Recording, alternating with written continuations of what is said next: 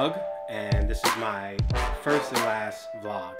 And the reason why I'm calling it first and last vlog is I- I'm not a big fan of vlogging, like unless you really have something to say, which is what brought me here. Um, so maybe I'll do another one. Maybe I'll never do another one. Maybe this will be the first. This will be the first of many, or the last one. So thank you for tuning in. Thank you for watching. Um, I'm gonna be um, brief. I decided to do this because I just had a discussion with a friend, uh, kind of a lengthy discussion. A little bit about me before I get into that. Um, I'm a filmmaker. I'm a sometimes photographer. Mostly I do directing and cinematography.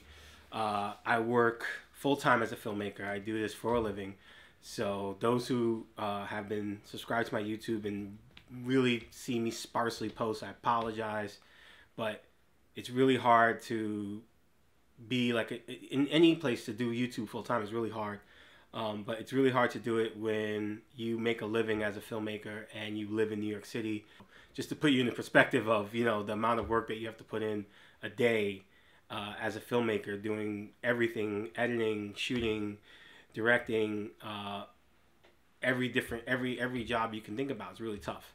So anyway, so friend of mine and we just had this kind of back and forth, and it's it's on this idea of perfection and perfection in art, right? And I feel that perfection in art is a fallacy. There is no such thing as being as perfect art. There was no such thing as perfect art.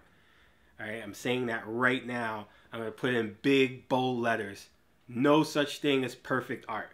All right, so wherever you feel right now, some of you just turned it off, some of you just went away. That's fine.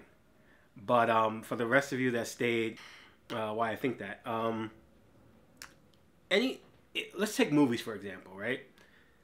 If you go to IMDb, right? You, go write any movie. Doesn't matter who directed it. Spielberg, Kubrick, doesn't matter. Kubrick, right? Kubrick, the most meticulous, meticulous filmmaker in history. There's probably no filmmaker who is as meticulous. Maybe Cecil B. DeMille because he did all these big movies and they always had these intricate things going on.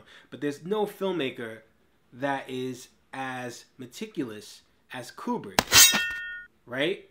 Yet, if you search any Kubrick film on IMDb, you scroll down, there's a little section called Goofs. Click that, and you will see all the mistakes made inside any Kubrick movie, any David Fincher movie, any Christopher Nolan movie, any Spielberg movie. And Spielberg is God, God of filmmaking is what I mean. If you don't think he is, like, just you can leave.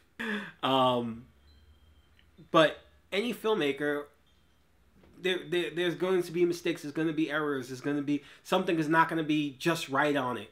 If you go to any artist and look at their their artwork, there's some the finger is off, or this is that that's not perfect, or this. You know, you look at like you take Jack Kirby, right? Jack Kirby again, super meticulous artist. You see, if you look at any of his work, especially like the stuff he did with DC and all the space stuff and everything, and how meticulous it is, still you'll see like a mm, look at that toe is a little off, the, this finger's a little off, or look at that nose is a little off. It's not perfect, right? Because perfection in art is bullshit, all right?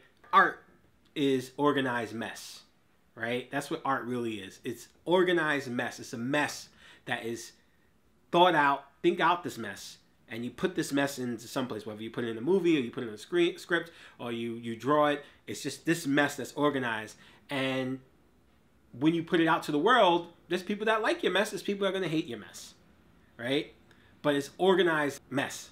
It is not perfection. There is no way you could reach perfection in art because there always there's always gonna be mistakes because human beings are flawed, right? And we're flawed and we make mistakes. That's just how we are. That's how we're built. Um, George Bernard Shaw said in Man and Superman that an artist's job is to show us as we truly are. That art is a reflection upon life, right? We, we know about that. We hear the old saying, um, art reflects life. And human beings are flawed. And since we're flawed, our art is going to be flawed, right? Because we're not perfect ourselves. So when filmmakers or when other artists talk about, oh, I'm a perfectionist, it kind of makes me roll my eyes. And what really is perfection in, in art is fear and self-loathing and self-doubt. Right? And it is this fear of failure and then sometimes a fear of success. Right? Because it's like, oh, what if this people really love it? Can I do it again? I don't know. You know, or is that fear of failure, that fear of fear of not being good enough? And so that is what that means when someone's like, I'm a perfectionist. I'm not ready to put it out. I'm perfectionist. I'm perfectionist. I'm perfectionist. And I'll give you a great example of that. Um, if you ever saw the film Collateral, that stars Tom Cruise and Jamie Foxx, which is a great Michael Mann film, um, that is reeked with um, goofs and mistakes because nothing's perfect. So in that film, Jamie Foxx plays a cab driver. And throughout the whole movie, he's talking about he wants to start his own cab company, and he he needs is, you know, he's gonna get the drivers, and he needs to get the cars, and he needs to get this, and he needs to get that, and he needs to get that, and he's saying it throughout the whole movie. And, and in one part, finally, Tom Cruise says, "You know what? If you really wanted to do that, all you needed was a lease on one car, and you could have gone from there. You didn't need to have a fleet of cars. You didn't need to have this. You didn't need to have that. All you needed was that one step." you know? And i say that to every artist out there and i'm talking i'm, I'm saying this from personal experience. You know up until maybe a year or so ago maybe two years ago i was really like that. Like i'm a perfectionist i'm this i'm that. And i've lost out on or i've let projects go go by the wayside because they didn't meet up to some sort of imaginary standard that i had. That's not that wasn't real. And that's that's the thing that that happens to all of us you know, as artists is that we we we start defeating our own selves. You know, you get in your own way, you start defeating yourself, and you call that self defeat perfection. Right? So we need to start letting go of the idea of perfection. And doesn't mean letting go the idea of being good or producing good work. It's not it's not doesn't mean don't be good. Doesn't mean don't just put out bullshit work. That's not what that means. It means get out the idea that there is this perfection. You know, if you make something, right, and you look at it, and you can look at it and go, yeah, I like this. You know, this is good. Maybe that's what you need to put out. Mel Gibson, and I'm, I'm quoting a lot of people because this is like all going through my head, and I didn't write any of this down, so it's just I'm just uh, stream of consciousness. But I was just watching this uh, this interview with him, and I thought it was really good. And in it, he said that you know a movie should have three things, and I, and I say this this translates to all art. Uh, it should have three things, the three E's, which is educate, elevate, and entertain, or entertain, elevate, educate in whatever order, right? And I think that that is the best way to convey your art, right? Entertain because you're making something you want to entertain people whether it's entertaining them with beauty whether you're grossing them out or something there's some form of entertainment right? You want to educate them right? You want to tell a story you're saying something you have something to say and you want to elevate them meaning that you want people to walk away with an understanding of the story you told or an understanding of something that you're conveying in your art right? And now we're not always going to hit all three right? Because then people are like, you can sit there like those, those, those again, those defeatists, you know, those. There's like a, a Taoist saying called the monsters of the mind, right? You can start letting the monsters of the mind defeat you, where you're like, well, I didn't get all three. No, you don't always need all three. Two out of three ain't bad. One out of three, mm, you might want to go back to the drawing board, but two out of three ain't bad. So if you if you manage to entertain and educate, then you win. If you manage to educate and elevate, you win. If you get all three, good for you. Mazel tov, you know. But don't let yourself be distracted from getting your work out there. And this is something I'm putting this out there for me. I'm putting this out there for every artist I know, every filmmaker, every painter, every uh, comic book artist, every person I know that that wants to pursue art. Don't worry about something the idea of perfection, right? The only time you need to be perfect is if you're like a surgeon. Surgeons need to be perfect. All right. I just watched uh I just I, I watched the movie Hidden Figures. Those women when they were making, you know, this this thing about NASA and they had to be exact with the they had to be perfect. That's where perfect that's where it matters. Where people's lives matter. Lives are at stake here. You need to be perfect. You can't be a, a smidgen off. You can't be like, oh, the toe is out. The, you can't be imperfect in those worlds. But in this world, in this world of art, where art is about perception,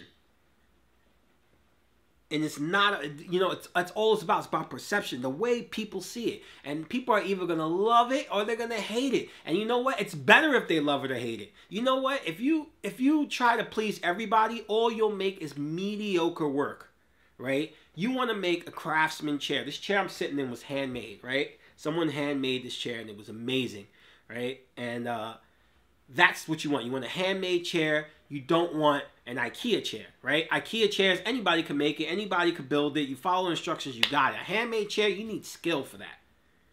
And and the handmade chair is not perfect. This chair is not perfect. It squeaks. It's got all kinds of little itches and problems with it. But that's just what it is. You know, it's craftsmanship.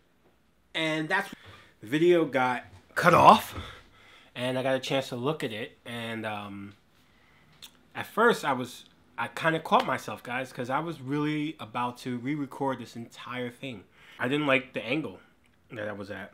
I was like, oh man, I look really short, and um, I look like I don't really have a neck. It's kind of weird, and I was like, maybe I should just re-record it because, you know. But then I'm I'm watching it, I'm listening to it, and I'm like, man, I'm conveying my message. I'm saying what I want to say, and I caught it. I was just like, I'm doing it. I'm I'm doing exactly what I just said we shouldn't do. I'm going to finish this up for you guys um, just by saying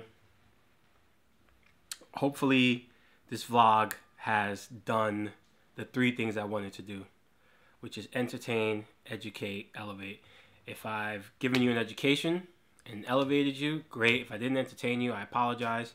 If I entertain you, entertained you and educated you, great. If I didn't elevate you, well, I'm sorry to hear that.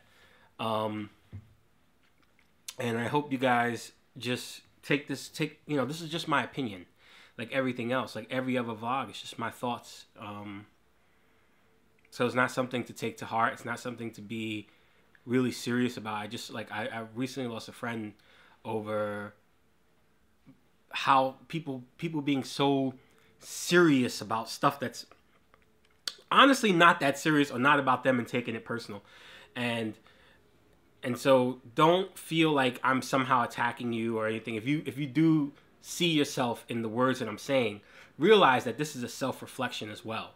So I'm talking about myself as well as people I see. So this is not an attack on anybody. This is a reflection. Like art, art is a reflection. I'm reflecting myself upon you, and hopefully, if you see yourself in those words, you you know what you have to do put your put your shit out there. Excuse my language. Put your stuff out there. Put your work out there and see what happens. You know, there are people out there who want to hear your stuff. They don't even know they want to see your stuff. They don't even know they want to they, they, they want your stuff. They don't even know it. Cuz you haven't even put it out there yet. So let's all put it let's put our work out there. I want to put my work out. I want to push my work more and I have plans to do that this year to really push more of my personal stuff and you know it might be taking a hit financially but i'm gonna do it and i hope that you guys put more of your own stuff out there and you know put the link put put links to your work below i'll follow you guys after doing this first vlog i might do another blog i actually now i like it. i get i get the point of it i get why people do it the whole getting something off your chest kind of thing is really really cool uh, it's uh, it's cathartic which filmmaking is cathartic in its own sense so this can be another form of catharsis. Um, the next one I probably do actually will be again something a bit more educational and less ranty. This was a rant. this was a rant in all its splendor and joy. Thank you guys.